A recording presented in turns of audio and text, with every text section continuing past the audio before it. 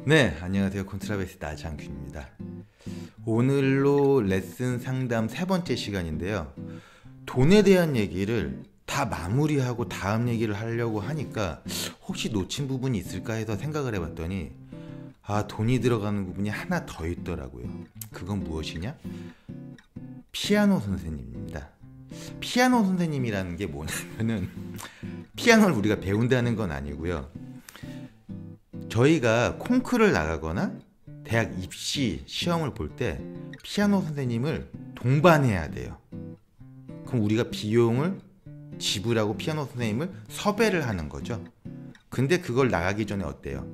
처음에는 피아노 선생님이 필요가 없죠. 왜냐면은 저희가 이제 연주 피아노 선생님과 함께 연주하는 실력까지 가는 데는 상당 기간이 걸립니다. 글쎄요, 한 빠르면 3개월? 그리고 나서도 여러 곡을 배우면서도 배우는데 시간이 걸리기 때문에 피아노 선생님을 저희가 만나기까지 시간이 꽤 걸려요. 하지만 피아노 선생님을 만났을 때부터는 자주 볼 수밖에 없겠죠. 왜냐? 내가 연습한 곡을 피아노 선생님이랑 계속 호흡을 맞춰야 되는 거거든요. 그래서 어디선 빨라지고 어디선 느려지고 아이가 센스가 없으면 피아노 선생님이 얘가 둔한 것까지도 캐치를 해가지고 연주에 도움을 줘야 되고 피아노 선생님이 얼만큼 잘 치느냐에 따라서 또 학생이 잘해 보이기도 합니다. 입시곡 그리고 콩쿠르를 나갈 때도 곡의 선택은 굉장히 중요하죠. 예를 들면은 좀 이제 쉽고 밋밋한 곡을 하는 거랑 반주가 화려하고 굉장히 현란하게 하는 곡, 파워풀한 모습을 보여줄 수 있는 곡. 우리가 주로 콩쿨이나 입시 때는 그런 곡을 선택을 하죠. 물론 지정곡일 때는 어쩔 수 없고요. 그래서 피아노 선생님. 금액은 피아노 선생님마다 다르지만 뭐 적게는 요즘에는 6만 원부터 한 번 맞추는데. 그러니까 뭐예요? 반주 레슨을 하면은 선생님이 레슨할 때 피아노 선생님 오시면은 레슨비와 반주비가 드는 거예요. 그걸 알고 계셔야 돼요. 그래서 한 번 맞추면은 피아노 선생님 한 6만 원. 뭐다 그런 건 아니고 7, 8. 그리고 인기 좋은 선생님 10, 막 12. 유명한 선생님들. 그리고 진짜 유명한 선생님은 돈 줘도 반주 학생 반주 안 해주는 선생님도 많이 계세요. 물론 저희 클래스에서 굉장히 훌륭한 학생이 나온다고 하면 진짜 제 동료 피아니스트한테 제가 부탁을 하, 드리겠죠. 내 학생 잘하는데 한번 해주시면 안 될까요? 어쨌건 그런 것처럼 연습할 때 레슨 받을 때 6만 원이었다고 하면은 현장에 가서 콩쿨 당일이나 입시 당일에는 더블로 받습니다. 12만 원, 뭐 7만 원이 14, 10만 원이라면 20만 원. 그렇게 이제 비용이 들어갑니다. 그거에 대해서 부담을 가지시는 분들은 제가 아무래도 그 반주 맞추는 횟수를 줄여드리고요. 근데 이제 입시 철 다가오고 이러면은 학생 입장에서도 불안하고 학부모 입장에서도 불안하기 때문에 아무래도 많이 하기를 또 원하세요. 뭐 그것만 어쨌건 보편적으로는 대학만 일단 들어가면은 이제 등록금 내고 레슨은 이제 거의 안 받거든요. 물론 원하는 학생은 받긴 합니다. 아 그래서 이건 다른 얘기인데요. 제가 그래서 제일 부러워하는 경우가 엄마가 피아니스트인 경우가 가끔 있어요. 그러면은 학생이 레슨 받을 때 엄마가 와서 반주를 하러 오세요. 그러면 얼마나 좋습니까? 물론 엄마랑 학생과 엄청 싸우겠죠. 엄마는 이러겠죠. 너 거기 음정이 왜 그러니? 그러면 학생이 뭐라 겠어요?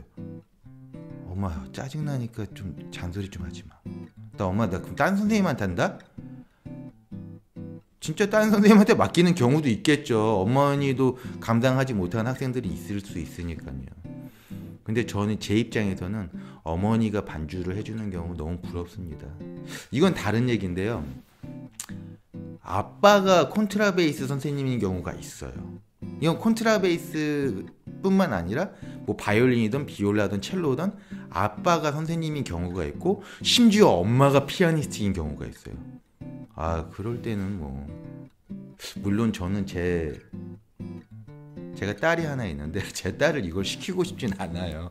왜냐면은 저도 이큰 학기가 무겁고 너무 힘든데 아 좀 그래서 개인적으로 여학생들이 너무 대단하다고 생각하고 학부모님들도 대단하다고 생각합니다. 어쨌든 아빠가 이거를 하면 얼마나 좋을까요? 예를 들어 제 딸이 이걸 한다고 생각해 보세요. 저는 이렇게 악기가 많잖아요. 그럼 악기 걱정 안 해. 활? 저 몇 자루 있죠, 좋은 활. 활 걱정 안 해. 아, 여기서 또 재밌는 얘기는 이제 피아노 선생님이 엄마이면은 진짜 반주비도 아낄 수 있는 거잖아요. 근데 저는 저희 피아노 선생님은 제 아내가 아닙니다. 가끔 오해하시는 분들이 있어요. 왜냐면은 어, 선생님과 피아노 선생님이 부부인 경우가 적지 않게 있거든요. 그리고 저는 그 이 피아노 지금 저희 현재 클래스 피아노 선생님과 거의 10년을 가까이 이렇게 하고 있습니다. 근데 어찌 됐건 10년 사이에 저도 결혼을 다른 여자와 했고 저희 피아노 선생님도 결혼을 하고 잘 살고 계세요. 그 오해를 하시는 분들이 가끔 계시더라고요. 그 부분은 어쨌건 알고 계시길 바랍니다. 뭐 중요한 건 아닙니다. 아닙니다.